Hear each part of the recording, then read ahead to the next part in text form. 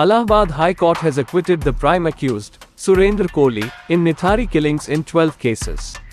The court also acquitted co-accused Moninder Singh Pandher in two cases in connection with the killings.